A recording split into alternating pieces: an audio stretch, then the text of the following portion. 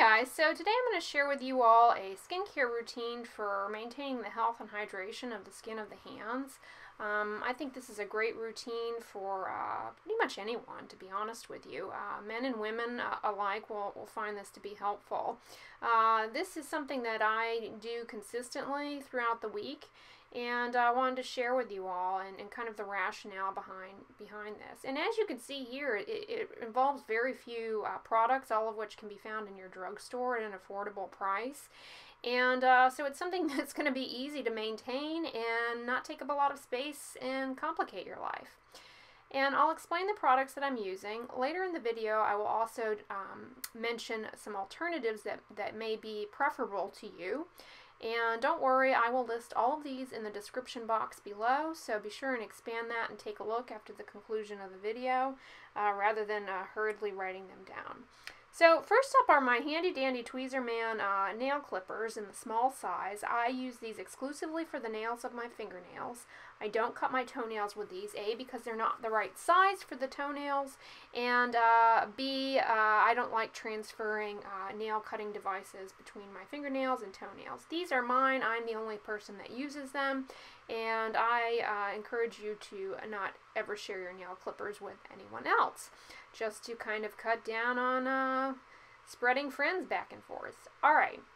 The other reason I like Tweezerman tweezers is that, the other reason that I like these nail clippers is that uh, Tweezerman, uh, you know, you can send these in and uh, they will sharpen them for you uh, as part of uh, owning them and send them back to you. So uh, it's important to keep your nail cutters clip short, your nail, it's important to keep your nail clippers uh, good and sharp because if they're too dull, then they don't A, uh, cut the nail properly and, and B, this jagged cut can actually, you know, make the nail more susceptible to breakage and, and ridging down the road, which nobody wants.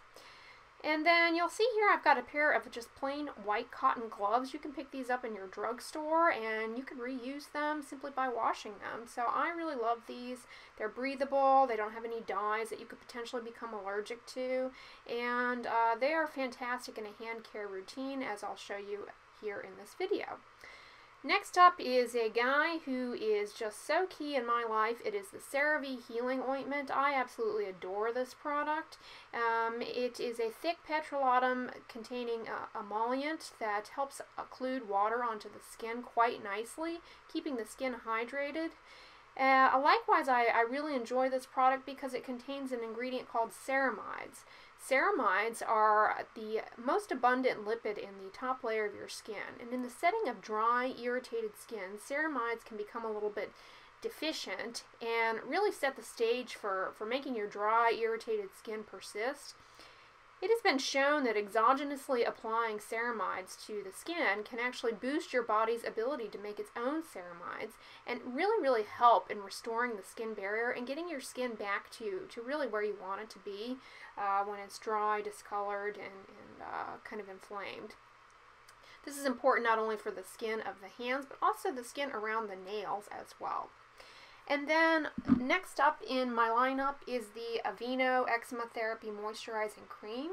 This I enjoy. It is a skin protectant. It contains colloidal oatmeal in it, uh, which is a nice emollient, and this is also pretty thick and greasy. But I am fond of this product because uh, cosmetically I find that it blends into the skin really nicely and uh, doesn't leave a whole lot of sticky residue behind, so I'm enjoying it in that manner. And as I said at the beginning of this video, I'll be sure and mention some other uh, alternatives to these products as I go along. Alright, so first thing I'll just point out, I never get my cuticles uh, pushed back or cut in manicure salons, nor do I do this myself. I encourage you, if you're doing this, to abandon this practice. The nail cuticle is really important to the health of your nails. It um, provides a nice tight water seal um, over the nail matrix, the part that grows the nail. Um, so I'm showing you that here. You see that half moon? That's your nail matrix. And he's nicely sealed off by the, the cuticle. And if you go jamming cuticle back, then uh, fungi can get in there, water, irritants, and lead to uh, brittle nails, thin nails, and uh, ridging. I cut my nails uh, a couple, maybe every two weeks, uh, along the curvature of my uh, natural nail growth with my my nail cutters there. And uh, I like to keep my nails clipped short uh, for a variety of reasons. A, uh, my line of work, uh, you know, for hygienic purposes, I just find that it's better hand hygiene. And uh, when the nail is too long, uh, it is susceptible to external damage. Um, so that can lead to brittleness.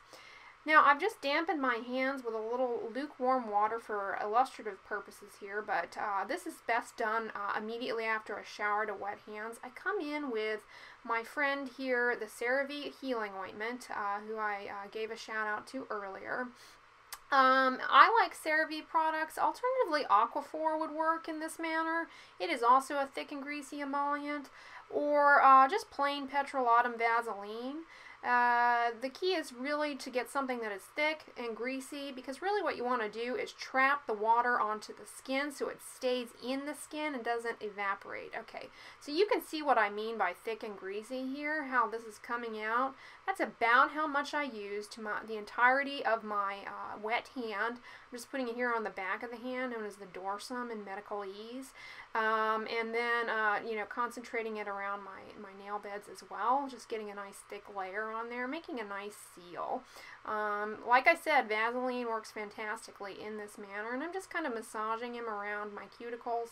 Um, I encourage you to avoid those expensive cuticle creams. They tend to con contain a lot of fragrance and potentially irritating uh, ingredients. And really, the, the key is just the hydration step. Uh, you don't need a, a, fancy cream for, for just uh, keeping the nails soft and healthy.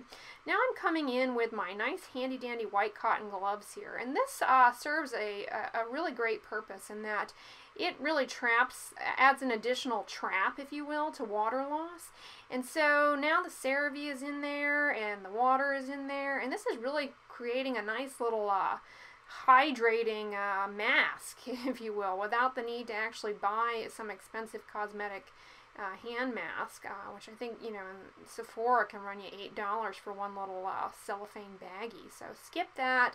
Uh, this is far, far better uh, and avoids exposure to unnecessary dyes and and that sort of thing. Plus, you can repurpose these white cotton gloves. They breathe nicely.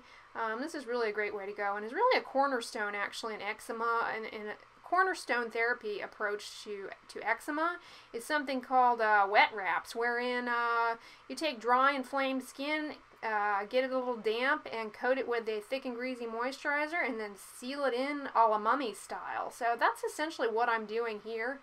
Um, and, you know, hanging out like this for a few hours while you, uh, you know, catch up on Netflix is a great idea. Alternatively, though, you know, you can just uh, do this overnight if you're really motivated. Stay with the gloves on uh, and sleep that way uh, if you really want to hydrate and seal in the deal. Okay, so next up I'm coming in with my uh, friend Aveeno Eczema Therapy.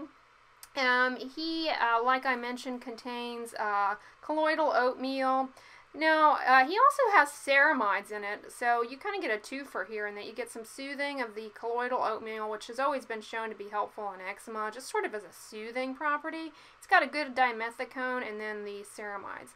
Alternatively, this is another product by Aveeno that uh, is great in that it's fragrance-free, dye-free, allergen-free. This is just pretty much a heavy-duty dimethicone, which is very, very safe in skin barrier uh, care and it's a great emollient. Wonderful here on the back of the hands.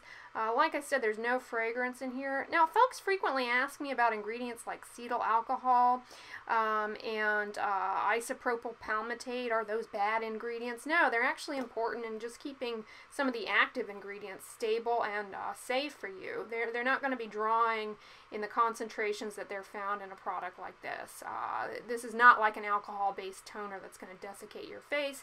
This is just a tiny bit of alcohol to stabilize the ingredient.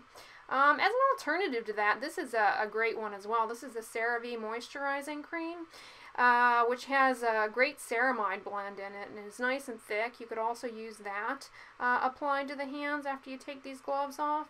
This product, uh, according to the CeraVe website, uh, for you cruelty-free uh, inclined folks, According to CeraVe's website, they do not test on animals. Now, I don't want to misspeak and say they're cruelty free, uh, but uh, that's as far as I, I have uh, have gotten to find that. Another cruelty free um, alternative, however, that, that's pretty good is this Borage therapy advanced formula. Um, in contrast to most, uh, you know, touted cruelty free brands, this one's attractive to me in that it does not have any fragrance, which, while you know they're not being cruel to the bunny, can can really be cruel to your skin skin, particularly if it's dry and inflamed. Putting exogenous fragrance and botanic oils and essential oils on dry, inflamed skin is a setup for both irritant and allergic contact dermatitis, which can make your skin problems worse and persist. This product, however, does not contain fragrance. I like it in that manner. It does uh, also contain oatmeal, which is nice, and it's got a few, uh, you know, uh, botanic. It's got a few vegetable oils that uh, can be helpful in soothing dry skin, like safflower oil, glycerin, jojoba. Uh, do know though that with natural oils there is always the potential, uh, again, for allergic or irritant contact dermatitis. But this Shikai one, uh, you know, they, it has minimal offensive ingredients. I think this is a fairly safe one uh, as far as the cruelty-free ones go. Alright, so here I am coming in with my Aveeno Eczema Therapy uh, to my hands here. This is really a, a good one though. I, I, really like this. I, I don't think they're cruelty free, however. And I just uh, put it on as a top coat, so to speak. I mean, my skin right now is really soft. And one of the things I'll point out is that, uh, you know, after, when the skin is hydrated and, and, and you're doing this on to kind of damp skin, if you will, you'll note that um, it's not greasy going on. And the reason is the skin is taking it up nicely. Alright, the other thing I'll point out is I, uh, just for my lifestyle, I don't paint my fingernails. Uh, from a professional standpoint, it just becomes, you know, basically unprofessional. unprofessional. And um, also, I'm a minimalist and I, I can't be bothered by that added complication of nail polish and what have you. Um, I do realize and appreciate that people like to have painted fingernails, so I'll leave you with this point. Do give your fingernails a break from the nail polish, at least uh, for a good week, a month. Please. Uh, nail polish, shellac, clear, what have you. The reason being is that chronic, consistent wearing of nail polish uh, doesn't allow the nail plate to breathe and predisposes to dry nails and brittle nails. Um, the other thing, uh, if you can coordinate your nail polish, nail lacquer free week with a visit to your dermatologist, this is fantastic. A pro tip, don't go to your dermatologist with nail polish on. It obscures our ability to examine your fingernails for things like, uh, oh, I don't know, melanoma, um, or, you know, little pesky warts and things that can develop under the nail. So uh, skip on into your dermatologist free of any uh, nail polishes. That will really uh, get you a lot more out of your skin exam. All right, now for day-to-day -day use, by all means, do not do not neglect sunscreen on the backs of the hands. Sun skin cancers related to sun exposure on the backs of the hands are common, rampant, uh, and you might uh, note in whatever country you in, in your country, whatever side of the road you drive on, uh, one hand may be a little uh, more affected than the other. Uh, that's because ultraviolet light uh, can come through the windshield and, and damage the skin, uh, even despite uh, the, the glass. So don't neglect your sunscreen, particularly on the backs of your hands. I happen to like this one by Aveeno. I, I, actually just grabbed it. It's Aveeno Baby. This is one that doesn't have any fragrance or dyes in it. It's zinc oxide based, so will give you a good uh, protection against that. The one offensive ingredient to me in this that I wish they had skipped is uh, chrysanthemum extract. I mean, that that has no role in this, and you can develop an allergy to that. So I will list some uh, zinc exclusive sunscreens below that uh, do not contain uh, chrysanthemum in them, uh, namely the Vanicream one and some others that I have on my list of faves. So check descripto box below, but here I am. You can see my skin is hydrated, it's sun protected, and I am ready to go about my day. Um, and yeah, um, I, I take a lot of wear and tear on my hands uh, at work. I wash my hands consistently as part of uh, going from patient room to patient room. So, as someone, but somebody with a uh, background of eczema, if I don't keep on top of uh, good uh, moisturizers to my hands throughout the day, I will really turn into a, a scaly uh, mess. But I encourage you to consider this minimalistic hand care routine uh, and uh, sort of skip all the other fancy schmancy stuff. You might find that uh, A, your wallet uh, is improved, and, and B, you know, the health of your skin improves, and then all of a sudden the appearance of your hands looks a little bit better uh, without all the expensive, uh, hyped up nonsense.